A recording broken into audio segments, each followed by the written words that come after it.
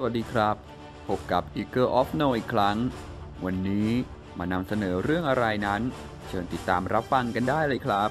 เพื่อเป็นกำลังใจให้กับทีมงาน ช่วยกดแชร์กันด้วยนะครับ ขั้นตอนการลุ้นโชคกับ Eager of No 1. กดไลค์เพจ 2. กดติดตาม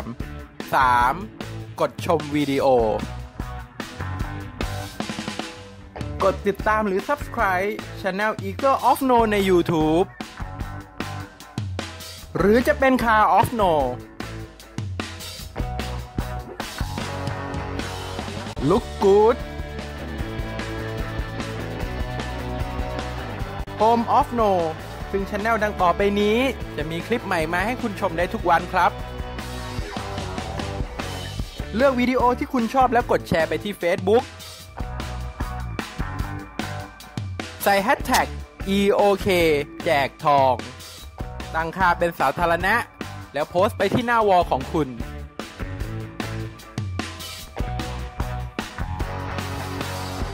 แล้วเข้าเพจ Eagle of No กดส่งข้อความ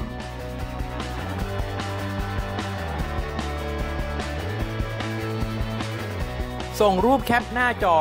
ของโพสต์ที่คุณแชร์ เข้ามาในกล่องข้อความของเพจ Eagle of No ก่อนเวลา 12นาฬิกาของทุกวันศุกร์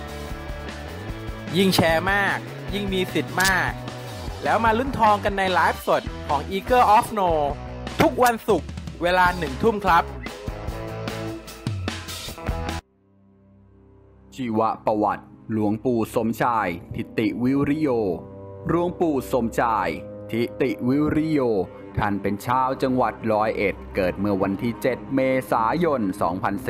2468 ตรงกับวันอังคารคืน 15 ค่ำเดือน 5 ปีฉลู เวลาเที่ยงวันณหมู่บ้านลาวเงี้ยว ตำบลจันหารอำเภอจังหาร จังหวัดร้อยเอ็ดในตระกูลที่เป็นชาวฮินดูหลวงปู่สมชายเป็นบุตรคนที่สองของโยมบิดาชื่อ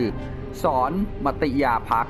โยมารดา บุญมัติยาพัก โยมารดาของท่านเป็นบุตร คนเล็กของคุณหลวงเสนาผู้นำศาสนาพราหมณ์ในท้องถิ่นนั้นหลวงปู่สมชายทิติวิริโย ท่านมีพี่น้องรวมบิดามารดาเดียวกันถึงสองคนคือ 1. นายหมูมัติยาพัก 2. หลวงปู่สมชายทิติวิริโย หลวงปู่สมชายได้ถือกำเนิดในสกุลของศาสนาพราหมณ์ วันที่หลวงปู่สมชายกำเนิดนั้น เป็นวันตรงกับเวลาประกอบพิธีทางศาสนา พอเริ่มขบวนแห่มารดาของท่านให้กำเนิดท่าน ซึ่งทำให้พิธีการทางศาสนาที่กำลังกระทำอยู่ต้องหยุดชะงักลงด้วยนิมิตหมายอันนี้ คุณตาหรือคุณหลวงเสนา จึงได้ทำนายไว้ว่า หลวงปู่สมชายจะเป็นผู้เปลี่ยนแปลงศาสนาเดิมของตระกูล และก็เป็นไปตามนั้นเพราะท่านมีความสนใจในธรรมะทางพุทธศาสนา ท่านชอบอ่าน หนังสือเกี่ยวกับพระพุทธศาสนามาก โดยท่านมีอุปนิสัยในทางธรรมตั้งแต่อายุ 16 ปี ท่านได้ใช้ชีวิตอยู่ในทางคารวาสจนถึงอายุ 19 ปีด้วยความเบื่อหน่ายต่อความเป็นอยู่ของโรคที่เต็มไปด้วยความสับสนวุ่นวาย และเต็มไปด้วยความทุกข์ไม่เที่ยง ท่านจึงคิดที่จะสละเพศคารวาสออกบวชในบวงพุทธศาสนาเพื่อแสวงหาความผลทุกข์ท่านได้บรรพชาเมื่อวันที่ 5 มิถุนายน พุทธศักราช 2487 ตรงกับวันขึ้น 15 ค่ำเดือน 7 ปีวอก อายุ 19 ปีณอุโบสถวัดเหนืออำเภอเมืองจังหวัดร้อยเอ็ด โดยมีท่านเจ้าพระโพธิญาณ มุนีเจ้าคณะจังหวัดร้อยเอ็ด ธรรมยุทธ์เป็นพระอุปชาท่านได้ถวายตัวเป็นลูกศิษย์หลวงปู่ มั่นภูริพัฒน์เถระ เมื่อปีพุทธศักราช 2487 ที่วัดป่าบ้านน้องผือตำบลนาในอำเภอพนานิคม จังหวัดสกลนครท่านได้ทำการอุปสมบทณ พันธสีมาวัดศรีโพเมือง จังหวัดสกลนคร เมื่อวันที่ 23 มิถุนายน พุทธศักราช 2489 โดยมีท่านเจ้าคุณพระธรรมเจดี เป็นพระอุปชา หลวงปู่ฝัน อาจโร เป็นกรรมวาจาจารย์หลวงปู่ กงมา จิระปุญโย เป็นพระอนุสาวนาจารย์ รูบาอาจารย์ที่กล่าวมาทั้งหมดล้วนแต่เป็นลูกศิษย์ของหลวงปู่มั่นทั้งสิ้น โดยเฉพาะ ท่านเจ้าคุณพระธรรมเจดีนั้นเป็นพระอุปชาของหลวงปู่ปั้นอาจารโรอีกด้วย ดังนั้นจึงกล่าวได้ว่าหลวงปู่สมใจายทิติวิริโยเป็นทั้งลูกศิษย์หลานศิษย์และเลนศิษย์ของหลวงปู่มัน ภายหลังจากอุปสมบทเป็นพระภิกษุแล้ว หลังจากประพฤติปฏิบัติธรรมจนทราบซึ้งในพระศาสนาพอสมควรแล้ว ท่านได้นำเอาธรรมะไปอบรมสั่งสอนประชาชนในท้องถิ่นเดิมของท่าน จนปัจจุบันหันมานับถือพระพุทธศาสนาจนหมดสิน้น ชีวิตในยาววัยเมื่อหลวงปู่สมชายมีอายุได้สองขวบ มารดาของท่านก็ถึงมรณกรรม คุณตาของท่านก็รับภาระเลี้ยงดู สิ้นบุญของคุณตาหลวงปู่สมชายก็มาอาศัยอยู่กับญาติ ซึ่งมีฐานะเป็นลูกพี่ลูกน้อง แต่เมื่อมีสะพ้ายได้เสียชีวิตจากไป ท่านต้องรับภาระเลี้ยงดูหลาน 4-5 คนแทน เพราะพี่ชายเมื่อสิ้นพี่สะพ้ยก็กระทำตัวเป็นนักเลงหัวไม้ หาได้สนใจในนาทีของพ่อที่มีต่อลูกไม่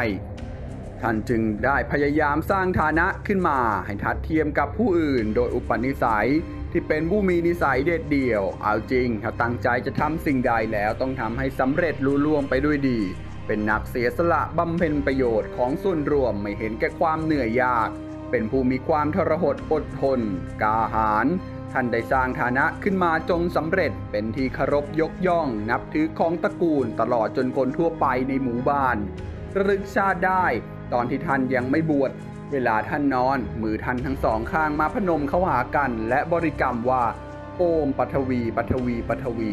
ขานั้นก็นั่งคัดสมาธิหลุดปุ๊บก็ระลึกถึงชาติเก่าทันที ท่านบอกว่าเป็นอยู่อย่างนี้ระลึกได้ถึง 4 ปีทุกคืน และเป็นไปอัตโนมัติว่าชาติที่หนึ่งนั้น ท่านเกิดเป็นฤาษีบวชเป็นฤาษีลุงของท่านเป็นหัวหน้าฤาษีในชาตินั้น ชาตินี้ลุงของท่านก็กลับมาเป็นพ่อของท่าน ชาติที่สองก็เป็นอย่างนั้นอีก ชาติที่สามได้เกิดเป็นลูกชาวประมง พอโตขึ้นหน่อย พ่อแม่ก็ให้ออกไปหาป่าเพราะเป็นชาวประมง แต่ท่านไม่เอาท่านก็เลยบวช พอไปก็ไปพบกับสำนักของฤาษีอีก พอกลับชาตินี้คือชาติปัจจุบัน ท่านก็กลับมาเป็นลูกของลุงในชาติอดีตคือฤาษีนั่นเอง กลับมาเกิดเป็นพ่อของท่าน การสนใจในธรรมะ ดังที่รู้กันอยู่แล้ว เดิมท่านอยู่ในตระกูลชาวฮินดู ขณะที่คุณตายังมีชีวิตอยู่ ท่านก็มีความสนใจในทางธรรมะ ของทางพระพุทธศาสนา ท่านได้เสาะแสวงหาหนังสือพุทธประวัติมาอ่าน บางทีก็แอบไปฟังเทศจากท่านพระอาจารย์นาค โคโสซึ่งเป็นพระปฏิบัติกรรมฐานในสายหลวงปู่มันการกระทำนี้ท่านต้องแอบกระทำเพราะเป็นการกระทำผิดต่อศาสนาเดิมอย่างร้ายแรง และยิ่งถ้าคุณตาของท่านรู้ก็ยิ่งจะต้องทำโทษสถานหนัก แต่การกระทำของท่านก็หารอดพ้นสายตาของคุณตาไม่ ท่านถูกคุณตาทำโทษ บางครั้งถูกเคี่ยนตีและมัดมือไพรหลังตากแดด ท่านก็ไม่เคยร้องไห้ ไม่เคยร้องขอความเห็นใจจากผู้ลงโทษเลยเด็ดขาด ท่านได้แต่นิ่งเงียบ เฉยตลอดเวลา แต่ก็หาเข็ดหลาบท่านยังคงสนใจในทางธรรมะทำบุญและเป็นเรียนรู้ทางสำนักปฏิบัติฟังเทศจากพระ กรรมฐานต่างๆ แต่เป็นการกระทำที่ระมัดระวังยิ่งขึ้น เหตุการณ์ต่างๆ ภายในครอบครัวของพี่ชายที่เกิดขึ้น ยิ่งเป็นสิ่งกระตุ้นให้ท่านหันเข้าสู่โรค กุตรธรรมมากขึ้น เบื่อหน่ายในคารวาสนิสัย มีความพอใจในเพศนักบวชมากขึ้น เมื่อเห็นว่าท่านปฏิบัติหน้าที่ภายในครอบครัวสมบูรณ์เป็นเวลาอันสมควรแล้ว จึงได้ขออนุญาตจากพี่ชายขอบวชพี่ชายท่านก็อนุญาตเพราะคิดว่าเป็นไปได้ยากเข้าสู่ร่มกา สาวพัก เมื่อพี่ชายอนุญาตแล้วหลวงปู่สมชายได้เดินทางไปฝากตัวเป็นนาคกับท่านอาจารย์เพ่งวัดป้าศรีภัยไวอยู่ฝึกฝนอบรมพอสมควรจึงได้บรรพชาเป็นสามเณรณวัดเหนืออำเภอเมืองจังหวัดร้อยเอ็ด มีท่านเจ้าคุณพระโพมุนี เจ้าคณะจังหวัดร้อยเอ็ด ธรรมยุทธเป็นพระอุปชา วันที่ 5 มิถุนายน พุทธศักราช 2487 ตรงกับวันจันทร์ขึ้น 15 ค่ำเดือน 7 ปีวอก พำนักจำพรรษาณวัดป่าศรีไพรวันหนึ่งพรรษาขนาดนั้นท่านมีอายุประมาณ 19 ปี ในระหว่างที่จำพรรษาอยู่ได้ยินกิติศักดิ์ว่าหลวงปู่มันภูริตะเถระเป็นพระอรหันต์ผู้หมดจดจากกิเลสใครจะได้เห็นพระอรหันต์ขียาศพในสมัยปัจจุบัน จึงกราบลาท่านอาจารย์ติดตามพระอาจารย์ป่อง จนะทสาโร และคณะสี่ห้ารูปเดินทางมุ่งสู่สำนักหลวงปู่มัน จนรู้ถึงเขตสาขาสำนักหลวงปู่มันคือ สำนักท่านอาจารย์ผู้วัดป่าบ้านโคปะนาว ซึ่งเป็นสำนักหน้าด่านอยู่รอบนอก อยู่ฝึกฝนอบรมจิตใจและมารยาทพอสมควรแล้ว ได้พากันไปมอบกายถวายตัวเป็นลูกศิษย์ของหลวงปู่มันเมื่อปีพุทธศักราช 2487 ที่วัดป่าหนองผือตำบล นาในอำเภอพันธนานิคม จังหวัดสกลนคร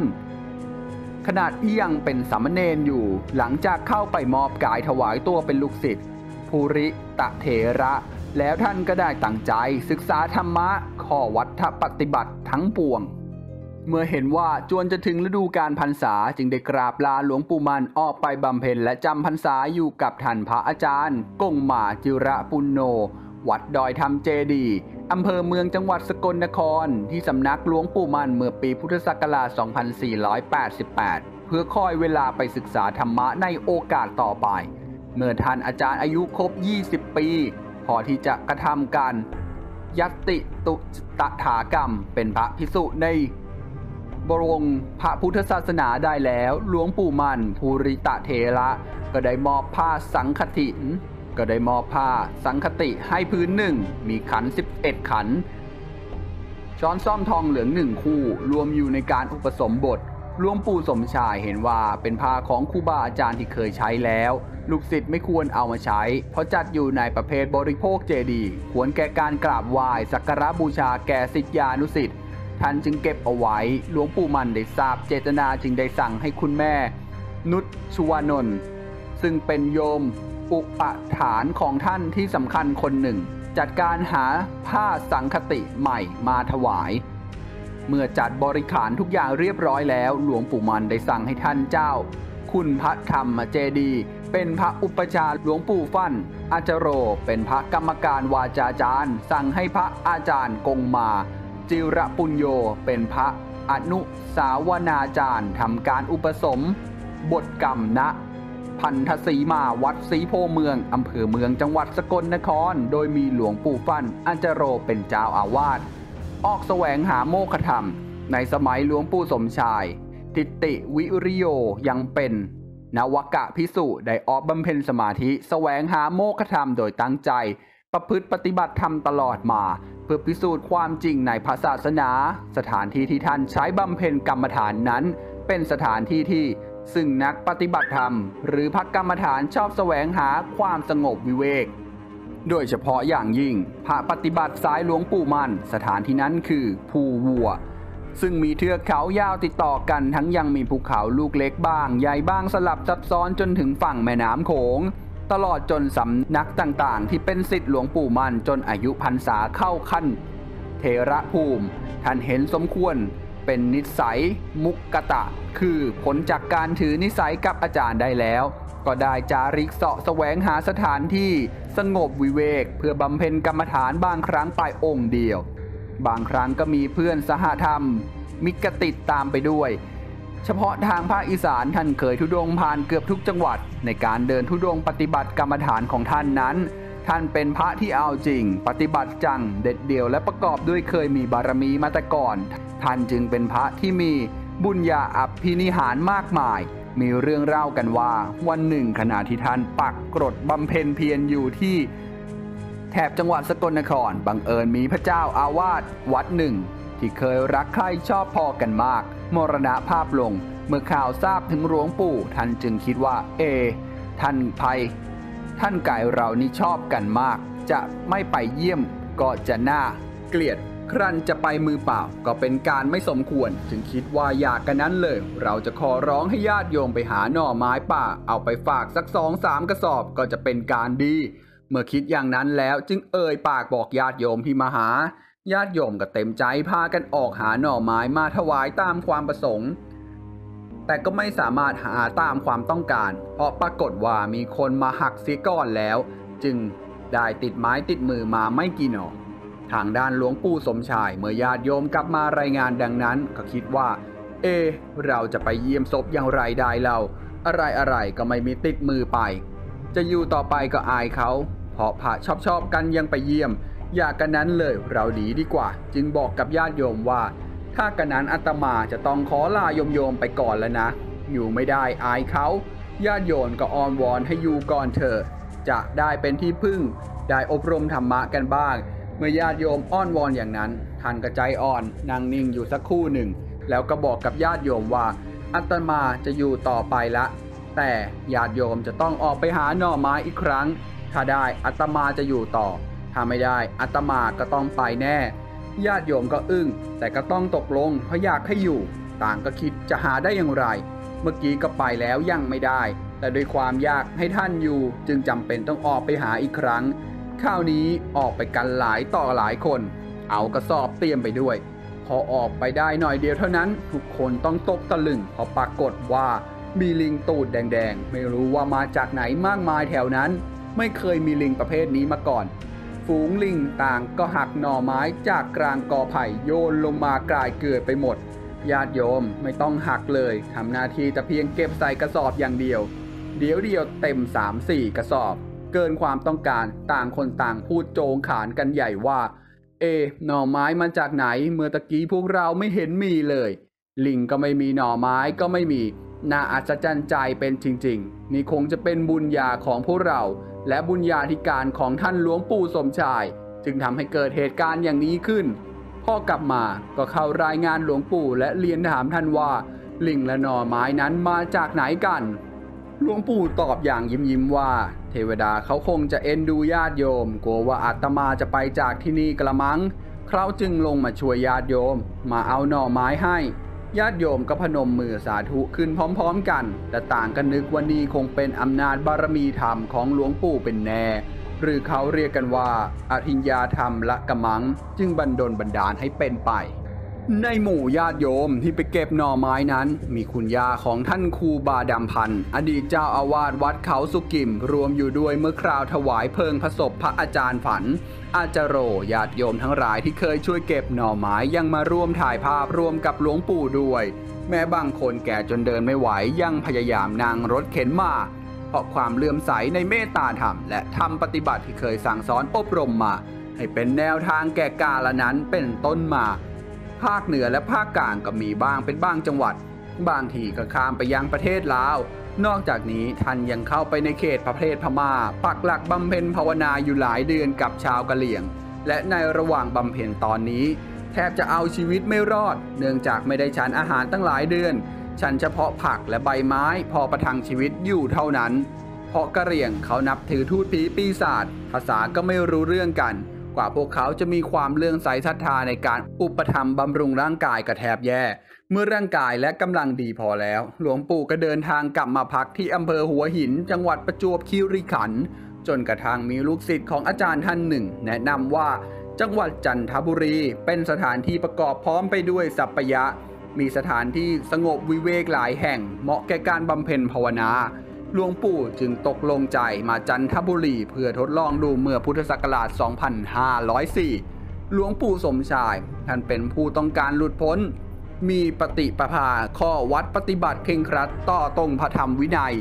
และมุ่งหวังเทิดทูนพระศาสนา มีศิลาจารวัตที่งดงาม สาธุชนทั้งหลายได้พบเห็นการปฏิบัติของท่านจึงเกิดความศรัทธา ชอบกดไลค์ ใช่กดแชร์ อย่าลืมกด Subscribe เพื่อเป็นกำลังใจให้พวกเรานะครับ